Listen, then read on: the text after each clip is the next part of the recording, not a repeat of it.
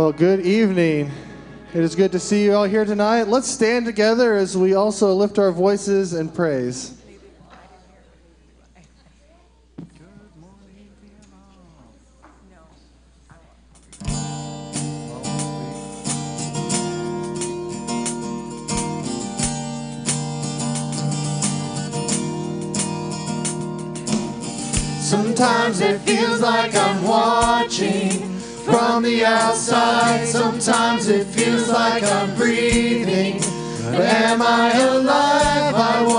Searching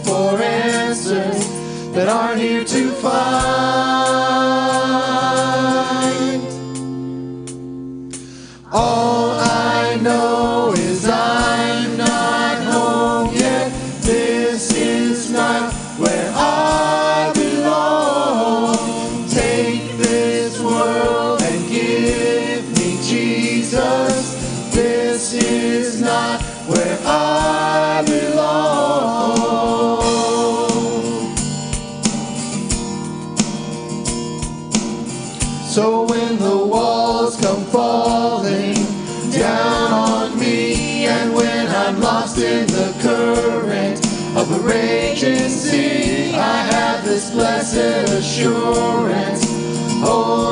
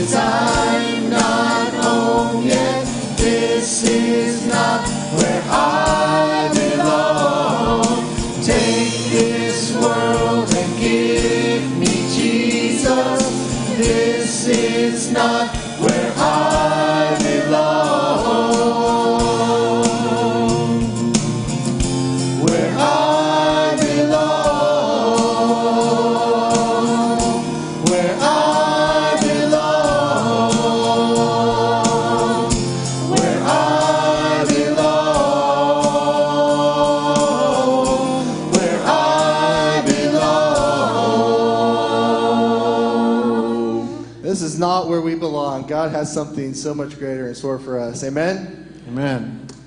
On this next song, I think we could use a little help. We haven't done it in a while. Build Your Kingdom Here. I think there's some motions. I'm not even sure I remember them all. Is there anybody out there that, that thinks they could help us out? All right, we got three down here. One more back here. Come on up right, right here across the front. I think that'll help us out. Any adults that uh, are, are feeling childlike today as Jesus instructed us to be as we come to Him? want to come lead us in motions? Uh, see, I'm trying to get trying to get theological on you guys. Oh man, this is going to be good stuff. Woo! All right.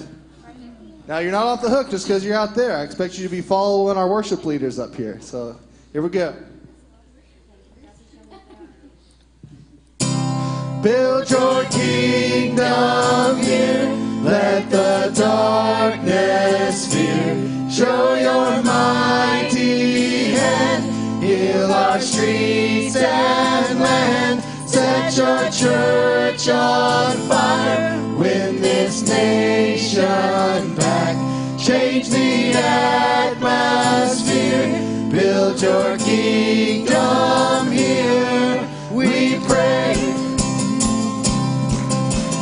send your rule and reign in our hearts again. Increase in us, we pray.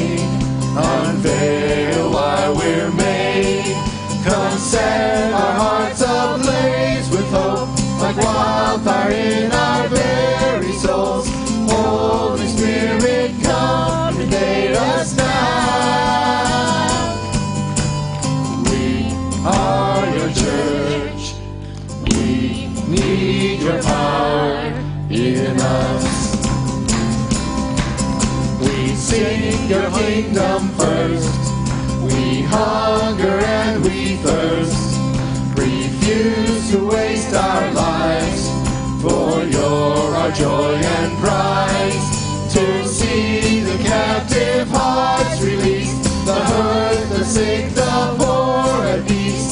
We lay down our lives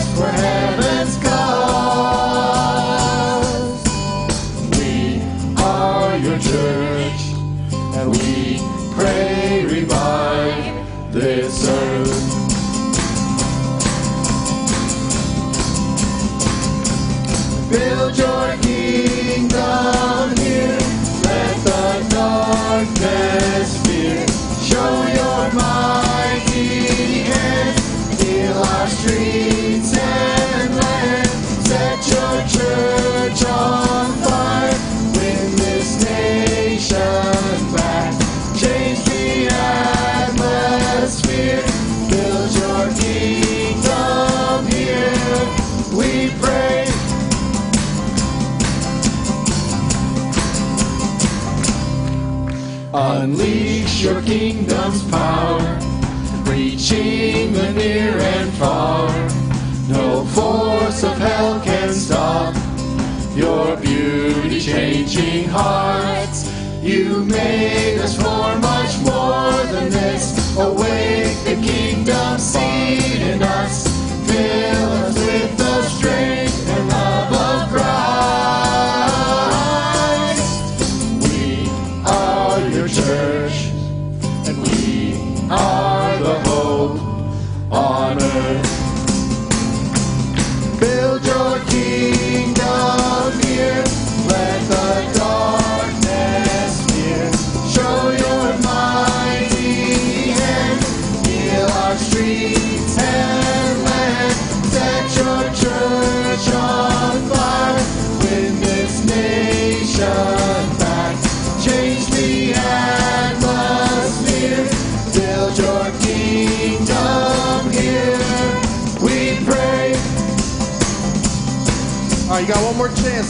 kids' energy. Build your kingdom here. Let the darkness fear. Show your mighty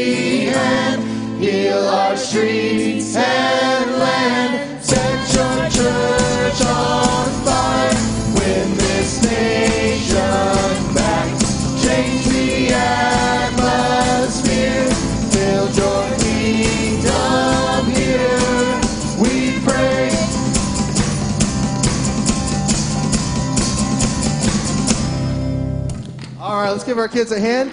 And kids, you can just make your way right down here to the steps as Pastor Kim comes down. Any other kids that'd like to come down and meet us for Sermon in a Sack? We want to see, we want to see, we want to see Jesus lifted high. We want to see, we want to see, Oh, I love Dr. we Steve. want to see Okay. Jesus lifted, Jesus lifted. Andrew's got a couple items tonight. He's going to bring sermon in the sack, and we're going to see if we can guess his Bible story.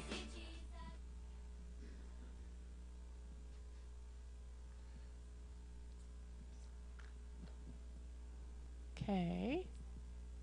Spices. Rolls, right? Oh. What do you think, Austin? Smells like rolls.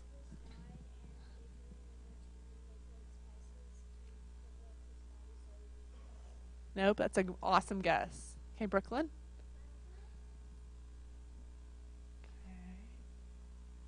Evan.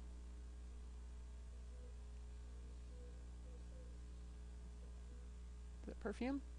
Nope, it's actual spices. Okay. Give us another clue.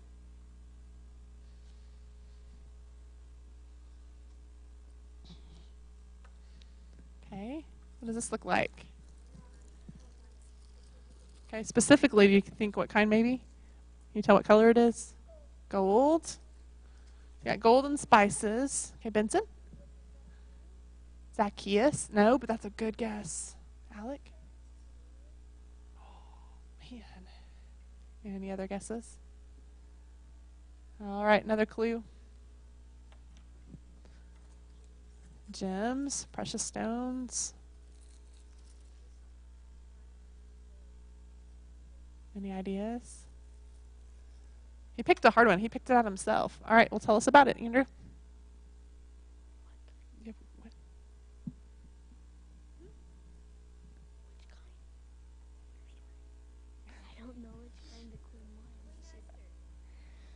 The queen of Sheba, she came to see Solomon, King Solomon, and she asked him lots of questions and he got them all right because she she wanted to see if she was truly wise and fame and uh, rich, wealthy. So she gave him spices, gold, and precious stones and wood to help build the temple. And he gave her whatever she asked for. And then she went back to her home. So why did she come? Oh, cinnamon. Why did she come to see Solomon? because she wanted to see he, he was truly wealthy and wise. Okay, and what did she find out? That why was he why was he wise? Because he had God with him. God with him. Can you imagine being known for something that someone knew something about you that they heard, that someone told somebody else, who told somebody else, who told somebody else until it got passed back to you that that you were a wise person or that you were faithful or or something special like that. So much that it was so important that someone would come see you to find out if it was really true, like Solomon. That news of his wisdom and his wealth and, and stuff and his relationship with God passed around enough that people wanted to come and talk with him. And the Queen of Sheba came and she asked him lots of hard questions. Do you ever get hard questions? No? I do sometimes. I get hard questions.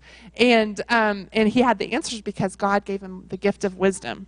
Well, I hope that as we start school this week that we are known for something. What do you want to be known for? That you lie or cheat or steal, or what do you want to be known for? Okay, Kayla? Being kind. Evan? Being a friend. Making good grades. Making others happy. Kimia? Helping. Okay, Amy? Make others bloom. Okay. Yeah. So, you know what? When we have God with us, like Solomon did, we can do great things for him. So, let's bow our heads and have a word of prayer. All right? Lord, we thank you for loving us and giving us the power to make the right choices, to follow you. Help us to be known as kids who love Jesus and serve him. And Lord, we pray that we'll be an example to our friends this week at school of who you are. Amen.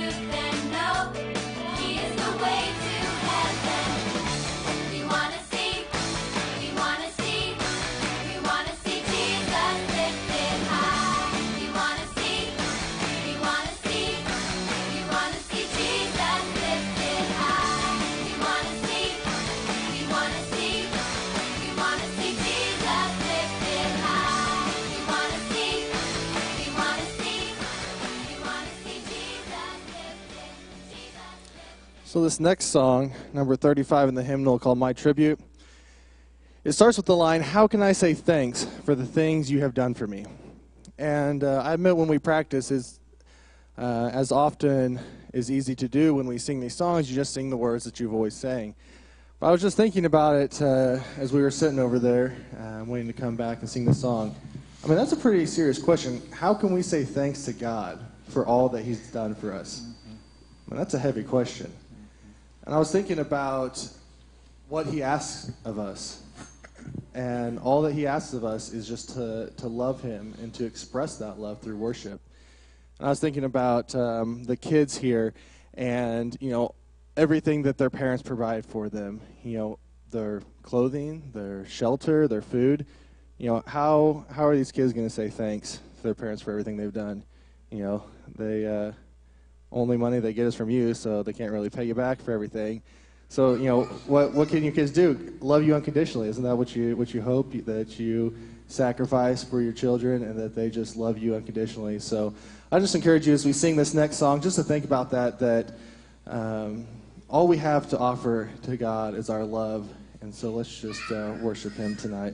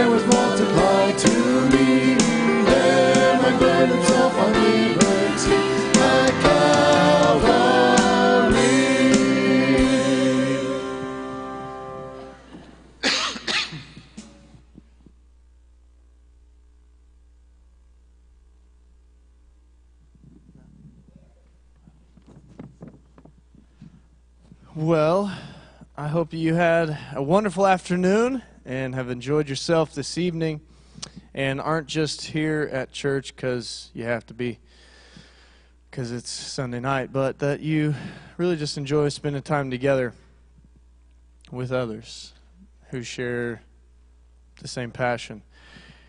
We were at family camp in East Texas recently at Scottsville Campground. Uh, I got to speak to the youth there during their camp, and uh, so my whole family got to go.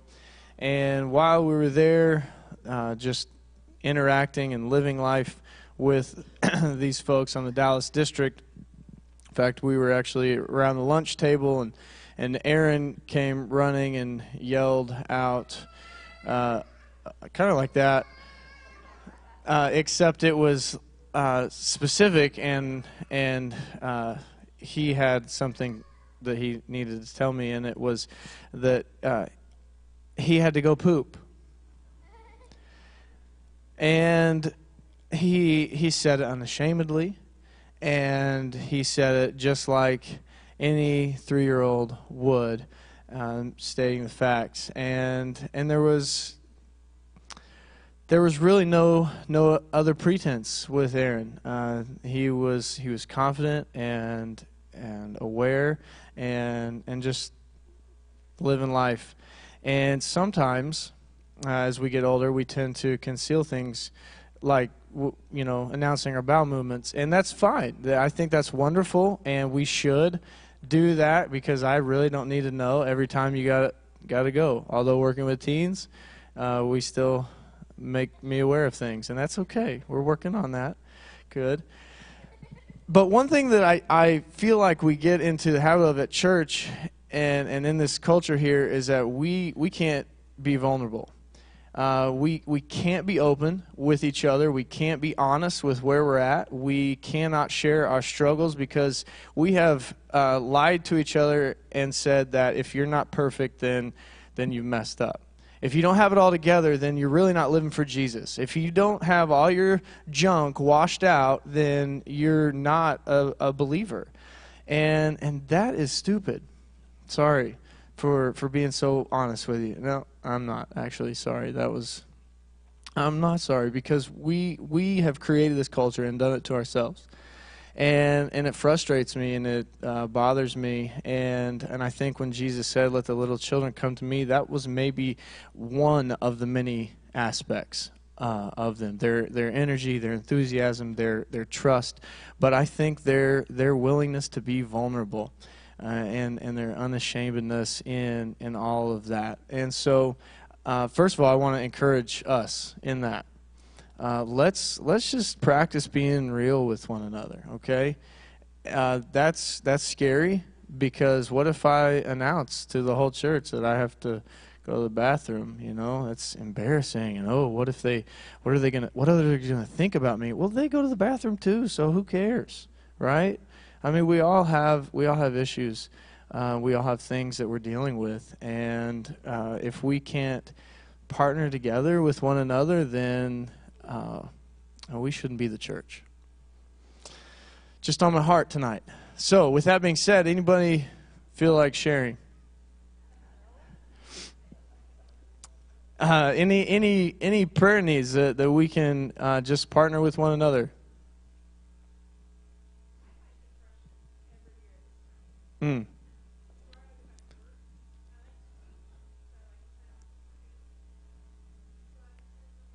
Mm.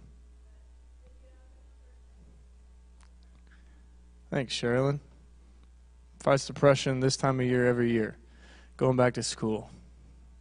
We can pray for you, Sherilyn, and we can partner together. Uh, thank you. And James.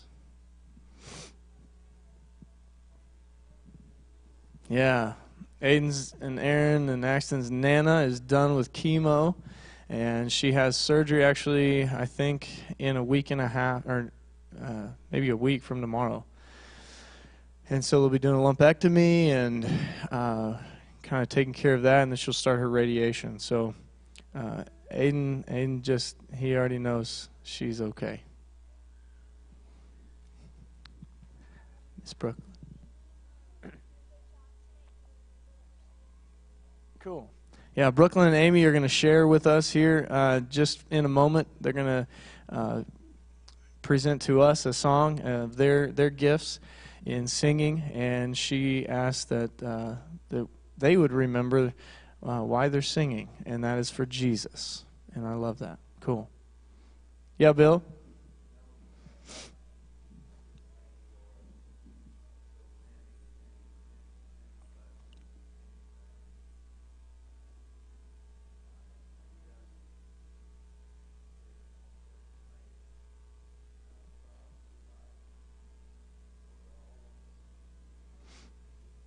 Sure.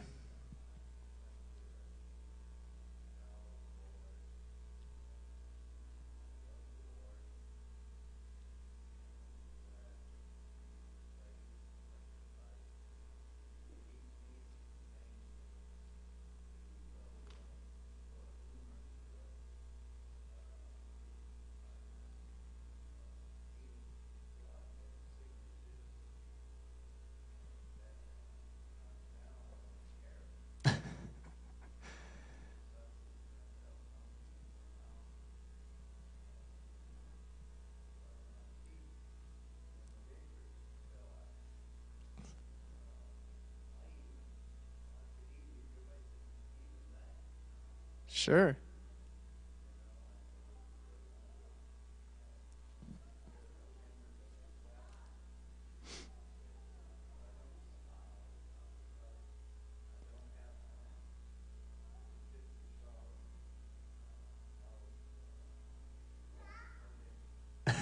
Because I had to. and Bill, that's that's being pretty vulnerable. Uh, yeah.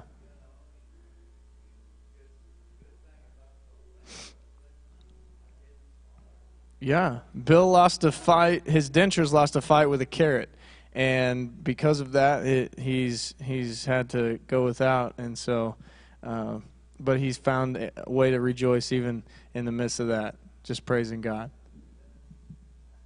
And you got a dentist, absolutely. Cool. Anybody? Yes.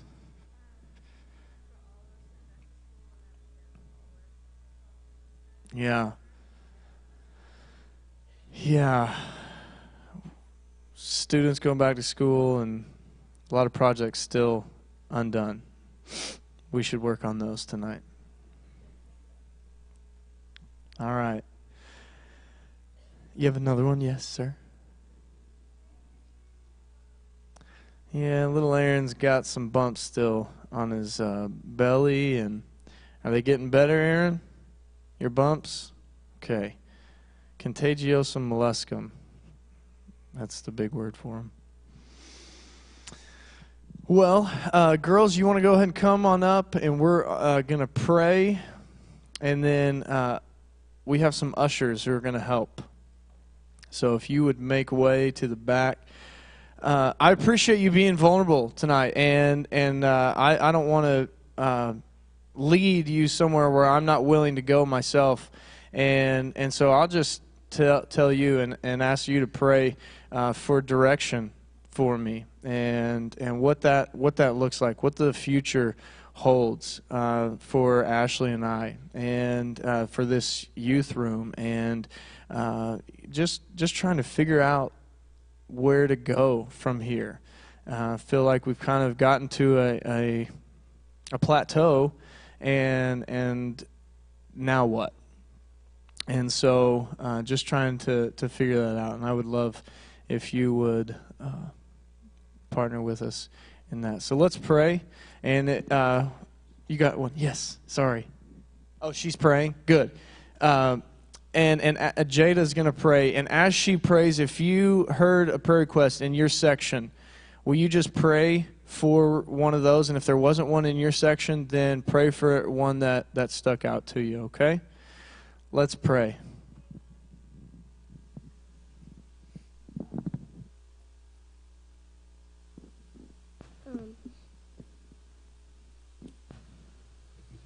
creation you made and the stuff you made for us.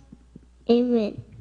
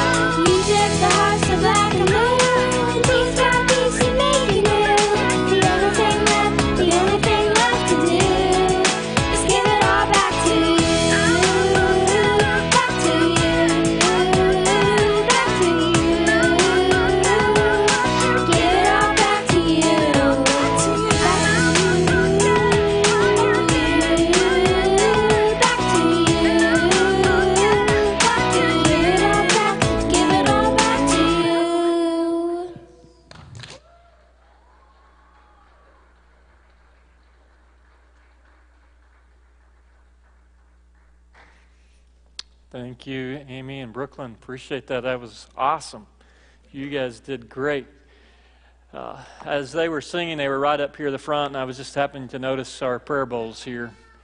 And uh, we don't oftentimes say a whole lot, but I just uh, feel impressed tonight uh, just for us to stop and uh, to give you an opportunity to pray on the prayer bowls. Now, some of you have written some very personal requests. And uh, some of you have uh, shared some answers to prayers, and we praise the Lord for His answers, His working.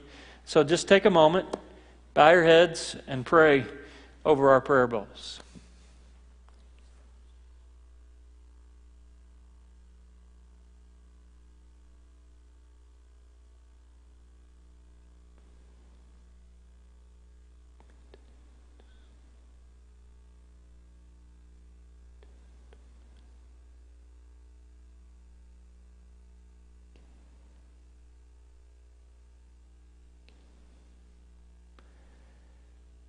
Thank you, Father, for hearing our prayers. We trust you tonight. In Jesus' name, amen. One of the, uh, uh, there are several different rooms in your house that are significant. Um, when it's nighttime and you're exhausted from the day, one of the best places in all the world is in your bed. Now, um, you know, your bed makes it different. We were gone this week uh, for a few days, went out to Guymon and helped uh, Kip and Ray move uh, houses. And uh, man, uh, we worked hard. And uh, when the end of the day was there and we can kind of lay down, it just didn't sleep very well. It wasn't my bed and uh, I was glad to get home to my bed. Um, I enjoy the living room. It's just kind of a place where you can kick back and and uh, the family room, oftentimes we call it, and uh, sit back and, and just kind of enjoy the time. But uh, one of the favorite places in, in our house uh, for a couple reasons. One is, or the favorite place for many of us is the kitchen. And uh, just because uh, you agree, Kyle, was that a shake? Were you shaking your head there? You like the kitchen? Why do you like the kitchen? The fridge is in there, and uh, I I enjoy eating way too much, and uh, but I like the kitchen because there's some good food that comes out of the kitchen. But also, the kitchen uh, is a, a place. The kitchen table is a place to to kind of it, it sometimes becomes a place for some families to make decisions.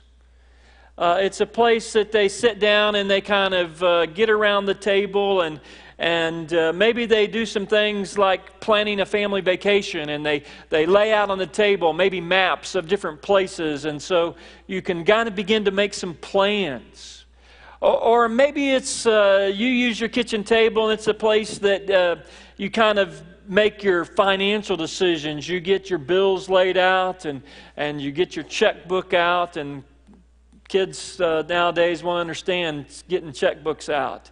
In fact, it's kind of checkbooks almost an obsolete thing. Uh, but uh, used to be, it was kind of place you'd lay out your bills and, and you'd kind of make those decisions. And sometimes you'd have to make some hard decisions about uh, what's going to be next. And, and so tonight, I just thought this is a night that we need to come to the kitchen table. Uh, we need to talk about the life of the church. There are just some times that uh, pastor and people need to sit down and kind of gather around. We just need to talk about the the church. We need to talk about the directions that God wants us to go, what He wants us to accomplish. We need to talk about some things that we're struggling with. Uh, uh, we need to just talk about life. And uh, so tonight we're coming to the table. Now, some of you are at an awful big table and you're a long ways away from that table. I don't know that you'll be able to see anything that I write down here at all, but uh, uh, you're always invited to push, pull your, ta- your chair up a little closer if you would like. Uh, but um, if you have your Bibles, you're going to turn to Acts chapter 2 here in just a few moments. Uh, that's where we're going to kind of be in the, the process. Uh, but I want you to think of, about what should the church look like? Where do we believe that God is taking us?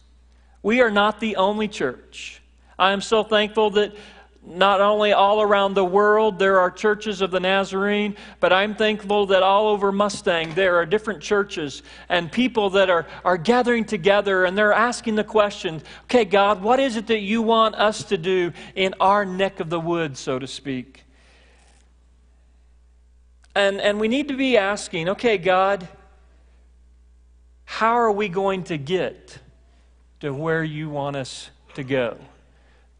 How are we going to get to where you want us to go? So, Acts chapter 2, uh, beginning at verse 42, this is immediately following uh, Pentecost.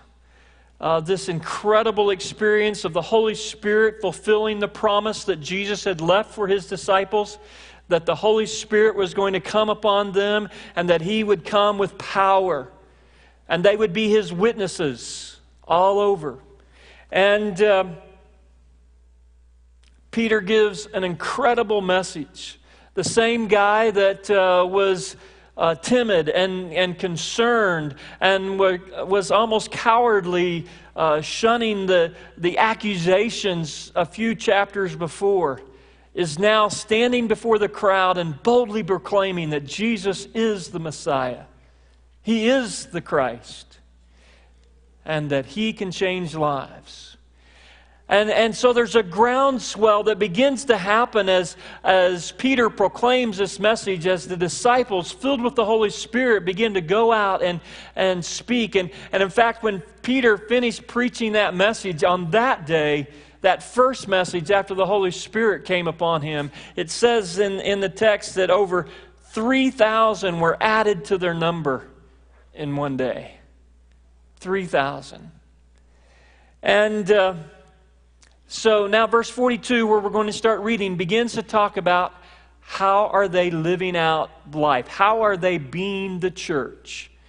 And this is not a, a, a new passage, it's one that we've used very often, but it's very significant. Verse 42 They, the church, they devoted themselves to the apostles' teaching and to the fellowship, to the breaking of bread and prayer.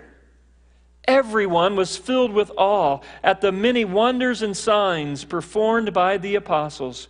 All the believers were together and had everything in common. They sold property and possessions to give to anyone who had need. And every day they continued to meet together in the temple courts. They broke bread in their homes and ate together with glad and sincere hearts, praising God and enjoying the favor of all the people. And the Lord added to their number daily those who were being saved. Well, there was a transformation that was beginning to take place in this group of followers. They began to create what we come to now call the church, the body of Christ getting together. And, the writer here in, in, in uh, chapter 2, uh, Luke, Dr. Luke, begins with a very significant word very significant message. He says, they devoted themselves. Now, I have to admit to you that grammar is not my best subject. In fact, I, I particularly don't like grammar. I struggle with it in many, many ways. And so when I got in college and went to Greek class, and they begin to talk about grammar and begin to, to talk about uh, how little markings or a change of this word would change the whole grammatic uh, structure of the sentence. It just, I mean, I'm just like, oh my goodness, how am I ever going to figure this out? And I didn't very well. I struggled through it, but I, I made it to the end. But one of the things that, that I did learn was a little bit about the tenses. Now, for us in the English language, we, we basically have three tenses, right? It's something either that happened in the past, or it's going on now, or it's something that will happen in the future. Past, present, future. But in Greek, there are so many more tenses and so many more things involved in that whole grammatic construction. And this word here, they devoted, sounds to me like it should be in our language, it's a past tense. I mean, isn't that right? ED means it's something that's already happened. They devoted themselves, right? Help me out. Students, is that correct? Is it something that's already. But in the Greek language, it's really a present active participle, which means that it's something that's continually happening. It's an ongoing process. They devoted, they made a decision that they were going to not only be a part of the church now, but they were going to continue to live out their life over and over again in the life of the church. So they devoted, they were practicing the apostles' teaching. Well, I mean, that's important, that's significant. And, and I think as a church, we work at doing that. We work at learning the Word. Uh, I, I need to do a better job of it.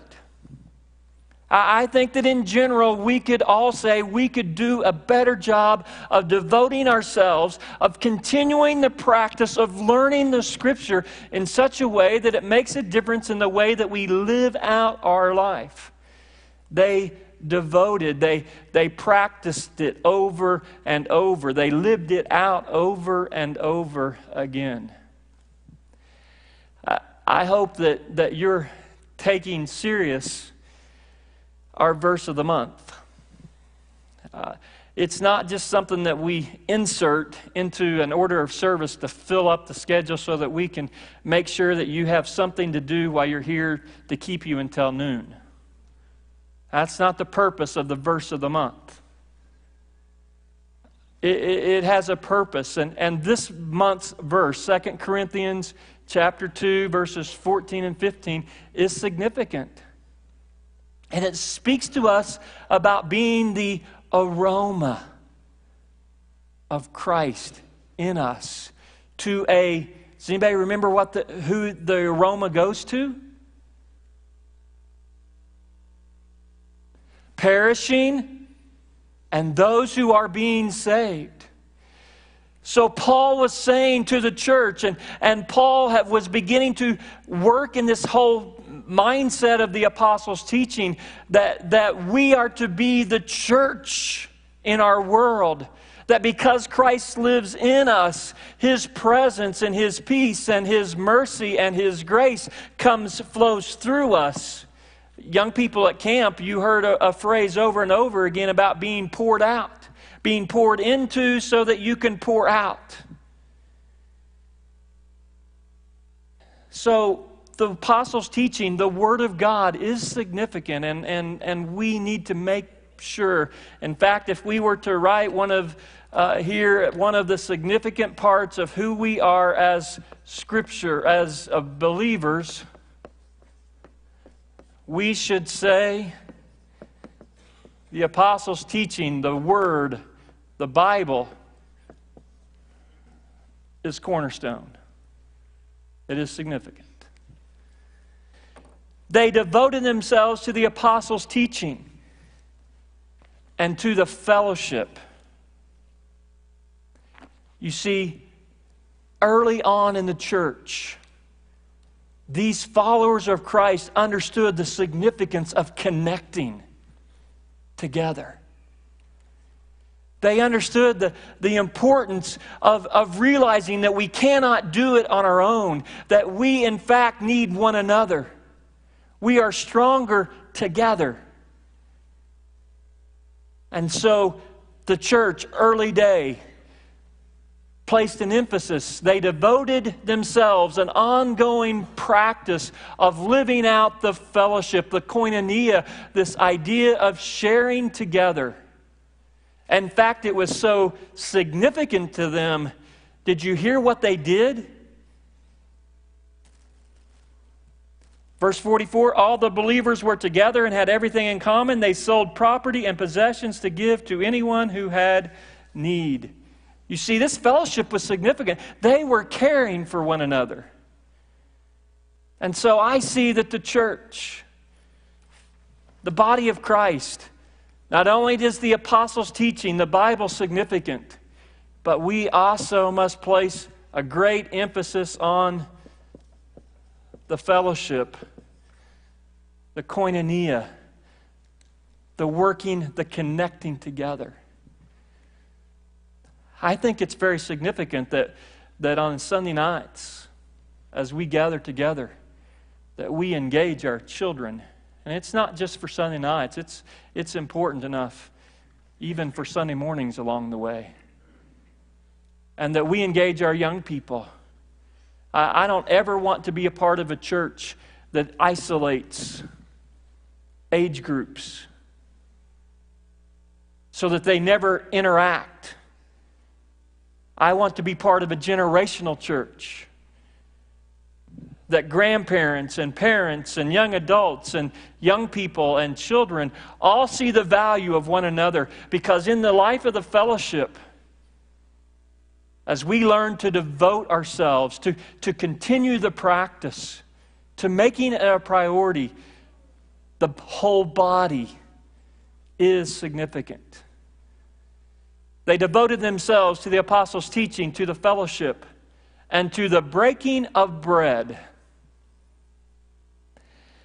Now, as I, I thought about that and I studied a little bit on that today, I, I began, okay, is that part of fellowship or is that part of worship?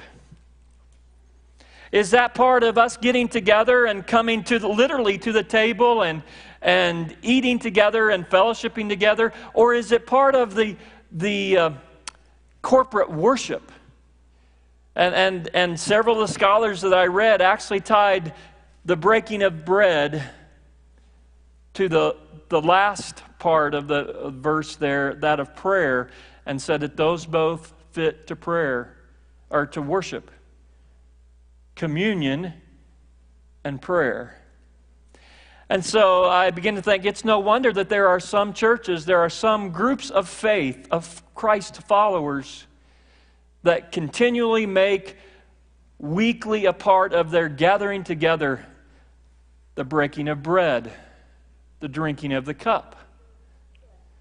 We have tended within our movement, the Nazarenes, to, to be careful about, well, don't ever allow it to become mundane or just ritualistic. And I understand that. I understand the significance of that. But yet, the other pendulum, the other side sometimes is, is just as dangerous if we don't spend enough time in this idea of breaking of bread, communion, remembering what God has done for us. Communion. And then they said to prayer. And uh, I think if we truly become the church that God wants us to be, a priority of our gathering together will be in the conversation between us and God. I, I really like on our Sunday mornings personally, and I guess since I'm the pastor, that's why we do it. I really like the time of meditation because in my experiences within the church, we tended to be more focused on getting to the end of the order of service than we were upon experiencing the presence of the Lord. We want to know what's next. Let's get to it and get it done. Uh, I mean, after all, that's our culture. We're fast food culture. We want to move right on to the next thing. And uh, I think for us to listen is very, very important in the life of the church. So they devoted themselves to the apostles' teaching, to the fellowship, to the breaking of bread, and to prayer. So,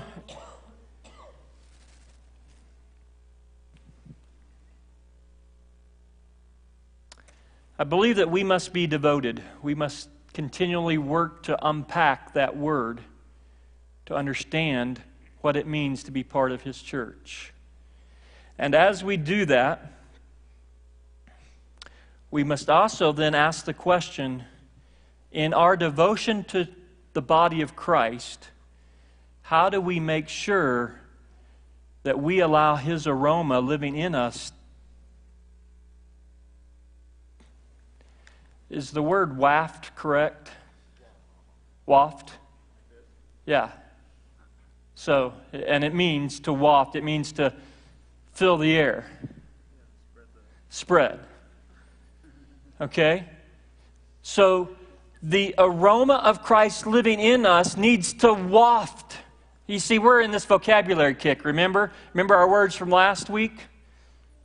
Fetters and asunder. This week it's the word waft. Allowing the aroma of Christ to, to begin to permeate into our world. And, and I guess tonight that's the question I want to ask. How do we allow Christ to use us in such a way that we become the aroma to those who are being saved and to those who are perishing? Let's be honest for a moment. Brett talked about vulnerability and openness.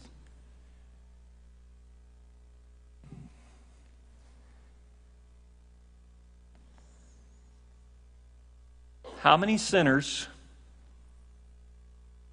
in 2015 have discovered Christ in our sanctuary? I don't answer that. But it's a question we need to seriously consider. I would venture to say, based on our amount of baptisms, not very many.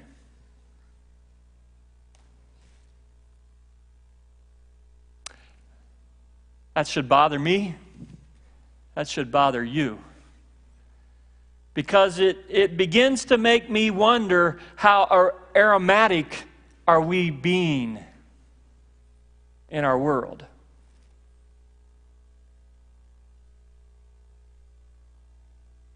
And if I were to point fingers out here to the congregation, you need to know that I'm pointing three of them back at me. Okay? So this message is as much for me as it is for anybody else. But hopefully, in the midst of, of understanding what God is calling us to do, He will challenge us to be wafting. is that using it right? Wafting into our world with the aroma of Christ.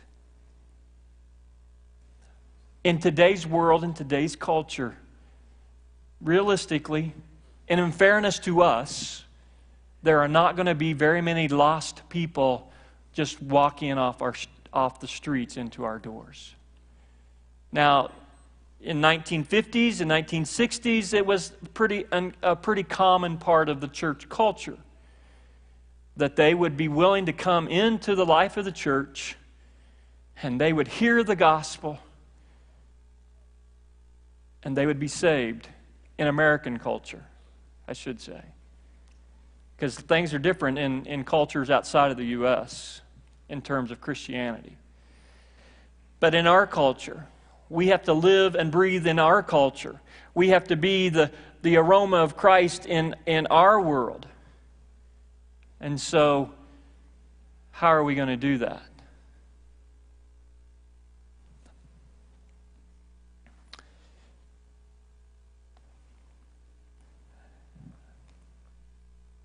Are we more devoted to religious ceremony than we are to relational transformation? Uh, you, I won't let you forget. And if you haven't heard me preach the message on Mark chapter 4 and 5, let me give you a brief synopsis. Jesus had had a long day. He was longing for some rest. And the crowds had been crowding around him continually over and over again. And he said to his disciples, Let us go to the other side in Matthew chapter or in Mark chapter 4. And they get in the boat, and Jesus is so exhausted that he actually goes to sleep in this boat. and the storm comes up. And the disciples become so overwhelmed by the waves of the world crushing in upon them that they think they're going to drown. They even make a rash statement Jesus, don't you care?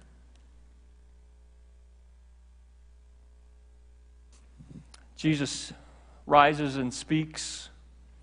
You remember the story. The waves calm, and they make it to the other side. And when they get there, they don't get to the resort, but instead they anchor in close to the cemetery where the man who was demon possessed had been moved to because he couldn't live in town any longer. And I venture to say, it's my opinion as I read that text, that all along Jesus knew that he was going to the region of the Gerasenes not for rest, but to bring transformation into the life. But he knew that there would be a stormy path. And I think what this what that text in Mark chapter 4 and into 5 says to us tonight is that we have been living in the period of the storm. We, we've lived through the 50s, the 60s, the 70s, the 80s, the 90s, the 2000s, and it's been okay. But now here we are in 2015, and the world is in turmoil like we have not seen.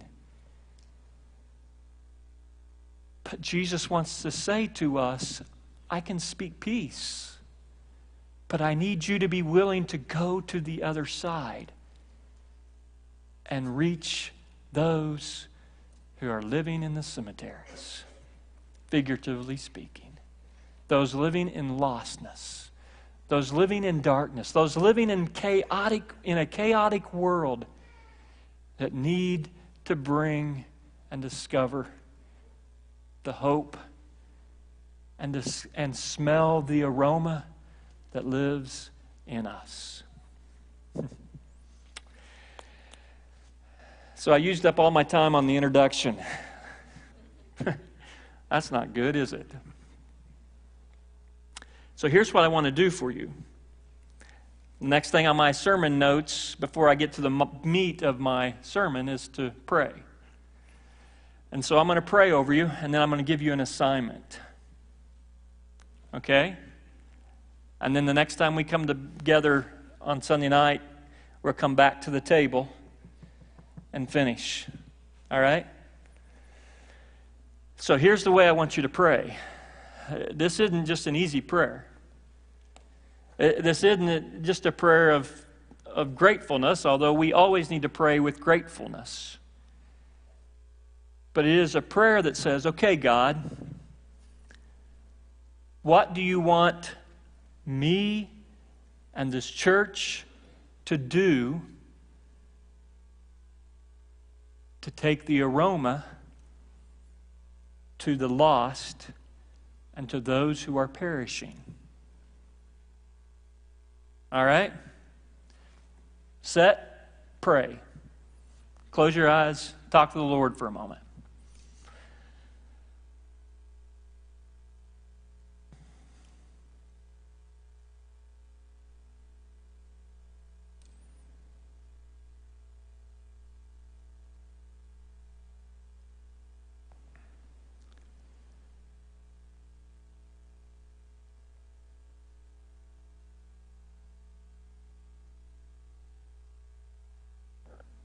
Lord, here's a great group of people that have gathered around the table tonight. And uh, we're going to have to come back here. But I pray, Lord, that you will help us to come with an open mind, an open heart, and that your creative juices will fill us so that we will begin to think of, of ways that we can reach out into our world. Father, maybe we already have some good things in place that are, that are significant and important, and would you help us to beef those up? Would you help us just to invest time and energy if that's what we need to invest in? Or, or Lord, maybe we need to, to come up with new ways, and, and, and there really is no way that we can do that. Some have said there's nothing new under the sun. And uh, I, I don't think that any one of us can co- really come up on our own with an idea that will impact the world for transformation. But Lord, we do serve you, and you are our God. And you are able to do immeasurably more than we could ever think about or ask about, according to your power that lives in us. And so, Father, not just for today, but for the generations to come, may we discover what it means to be devoted and to be available.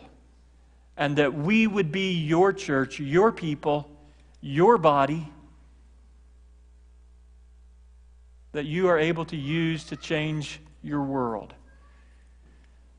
Thanks. In Christ's name I pray. Amen. Okay, so but you can't I'm not that's not that wasn't the amen to go. You got to have your assignment before you go. Okay? So you need to get take home with you a piece of paper or get a piece of paper at home. And begin to pray and ask, okay, Lord, show me a way that we can reach people. That we can that we can study the word together. That we can be devoted to one another. I, I mean, some of us have some heavy hearts and, he, and, and we need to care about each other. Okay? We cannot take that out of the life of the church. We got to care about each other. In fact, in the fellowship uh, committee of the board tonight, we were talking just a little bit about how do we care for people that we haven't seen, or, or who is it that we haven't even seen. You know, there are some folks that have been a part of this church for a few years that we haven't seen around here. How are we caring for them? That's important. But also, then, here's the real meat of your assignment Lord, give me some creative ways to reach out and touch the lives of people that are living without hope and need to know the hope that I have. And when we come back together, we're going to begin to write some of those down and begin to work out some plans how we can accomplish that. All right? And, and young people, that's for you got the assignment too, okay? Because uh, we really do need your input in this process. And kids, even you. If we ever take the kids and the young people out of the mix of where the church is going, I think we've lost the key part of what God wants His church to be. So, amen and amen. You are dismissed. Have a great night and a great week. Kids, have a great week, first week at school. May you be blessed. You are dismissed. Thank you for watching today online. It has been our privilege to share this time with you. I'm Pastor Terry Armstrong, and I want you to know that if we can do anything to assist you, any words that you would like to say, any comments that you would like to make, or anything that you would like to tell us about what God is doing in your life, please do not hesitate to give us a call. Our number is 405 376 2892, or you can email me directly at terry at mustangnaz.org. Again, we just hope that today your spirit, your heart has been encouraged by the presence of God. And so now I just want to say to you, may the peace of our Lord and Savior reign and rule, and may He give you His calmness in the midst of your storms. In Christ's name we pray these things for you. Amen and amen.